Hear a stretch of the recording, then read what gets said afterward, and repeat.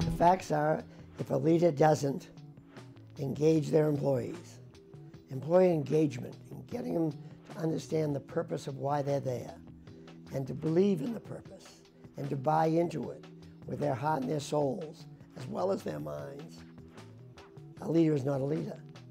So that's not going to change no matter what happens.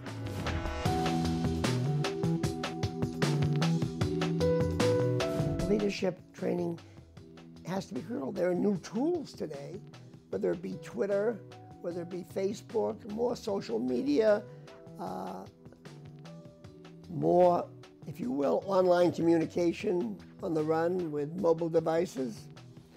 But those are just techniques to get at the same issues of identifying a strategy, putting a winning team together, driving the execution. That hasn't changed. Speed has changed. The amount of information out there has changed.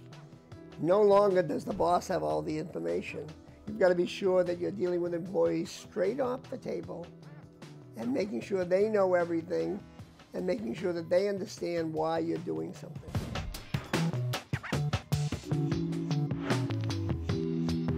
You fiercely fight to get the very best all the time. You're constantly coaching.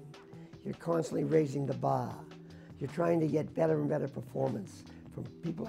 And people that aren't delivering, you ask them to leave. But you don't fire them. You take them out, you explain to them why they don't fit in this particular strategy, and you give them a new job. Meetings, reviews, uh, watching their behavior. Uh, for example, when somebody comes in for an acquisition, I always started out with no, bad idea. And I wanted to see how they fought back, how, they, how much they cared about it, how much they would work on it, what they would put on the line to deliver it. And you can test people that way, see their commitment to the issue.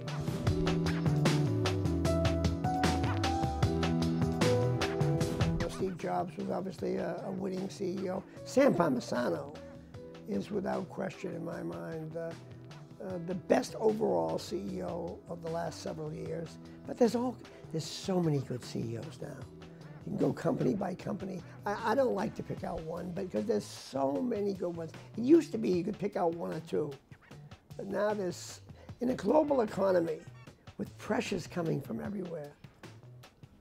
Your, your CEO better be damn good, or else you're not going to have something.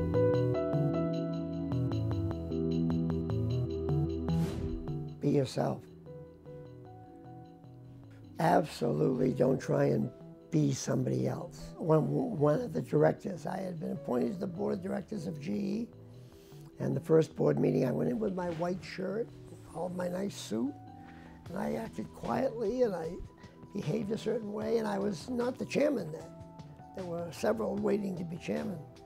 And the position that, that he took was, Jack, after the first dinner, called me aside and said, let me tell you something. That wasn't you today be yourself, which was outspoken, which was saying what you think. I went back to being myself. Don't try and package yourself in some other uniform.